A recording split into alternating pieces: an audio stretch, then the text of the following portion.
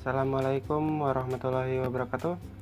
Selamat sore, selamat malam, selamat pagi, selamat siang Dan selamat tahun baru 2021 untuk kita semua. Semoga kita semua dijauhkan dari segala penyakit Dan selalu diberi kesehatan, panjang umur dan sukses di dunia dan akhirat. Oke teman-teman, pada video kali ini Smart ingin membahas tentang SEO YouTube ya. Jadi SEO YouTube itu apa sih? SEO YouTube itu adalah sebuah cara optimasi pada video kita yang diupload ke YouTube.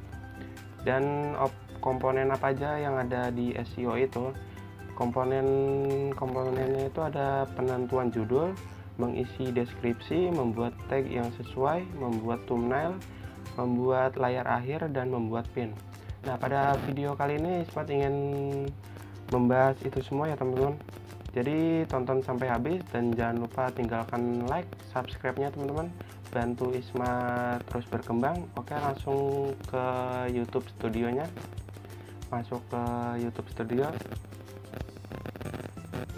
Di sini saya membuka salah satu video saya teman-teman.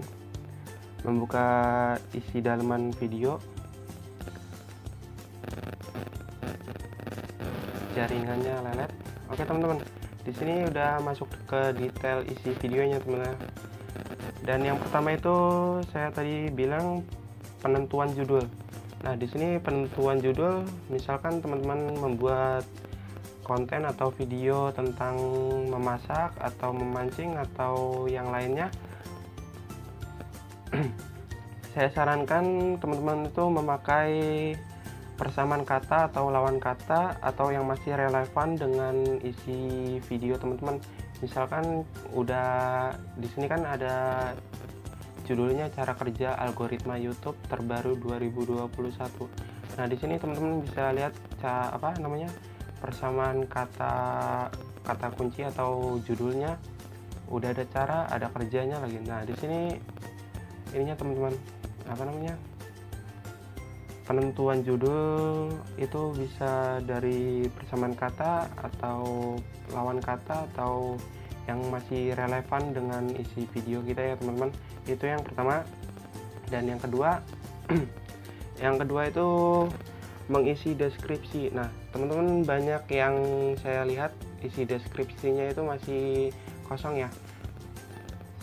Saya sarankan untuk teman-teman semua diisi ya teman-teman mulai saat ini kalau upload video diisi dulu deskripsinya. Dan di sini kan ada deskripsinya. Deskripsinya deskripsinya itu bagaimana cara algoritma atau search discovery system bekerja dan apa aja yang ada di algoritma itu. Simak sampai habis supaya paham kinerja dari algoritma YouTube cocok untuk youtuber pemula seperti saya dan khususnya kawan kreator semua. Dan di sini bisa teman-teman isi deskripsinya itu satu hingga dua paragraf bila perlu. Dan untuk yang ketiga itu untuk isi tag ya teman-teman. Isi tag nah isi tag itu bisa dari deskripsi bisa dari kolom tag yang bagus. Dari mana bang? Nah itu ada dua cara sih teman-teman mau di deskripsinya aja silakan. Mau langsung di kolom tag silakan. Dan di sini saya memakai dua dua ini ya teman-teman. Dua kolom pengisian tag di deskripsi dan di kolom tag. Kita ke bawah. Tampilkan lebih banyak. Saya biasa kalau naruh tag itu di bawah sini teman-teman di sini yang masih relevan ya teman-teman. Yang masih relevan dengan isi video. Jangan isi videonya tentang burung diisi tagnya tentang memasak itu tidak mem itu tidak masuk kriteria isi video atau tidak masuk akal dalam isi video ya teman-teman. Dan untuk yang ketiga itu membuat thumbnail. Nah membuat thumbnail. Ya thumbnail adalah gambar atau cover foto atau cover video yang teman-teman upload diusahakan masih atau masih itu ya teman-teman masih kelihatan atau apa namanya menarik gitu di untuk diklik. Dan usahakan itu jelas padat dan merayap pokoknya ada kata kunci di thumbnailnya itu supaya menarik gitu teman-teman.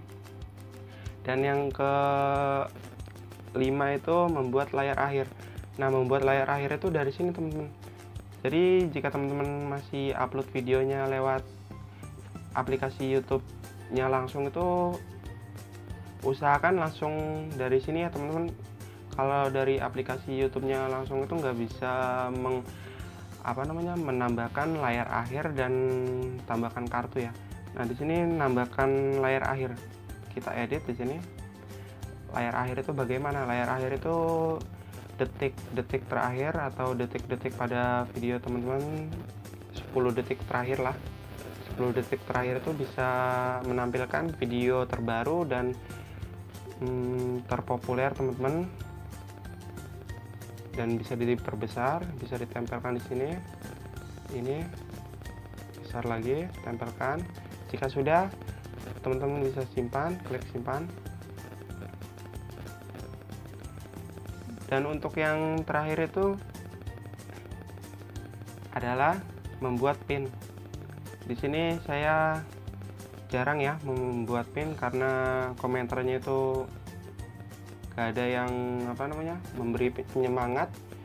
Gak ada yang apa namanya pokoknya kurang di hati saya gitu. Mungkin sekian dulu teman-teman. Semoga bermanfaat. Kurang lebihnya mohon maaf. Di akhiri wassalamualaikum warahmatullahi wabarakatuh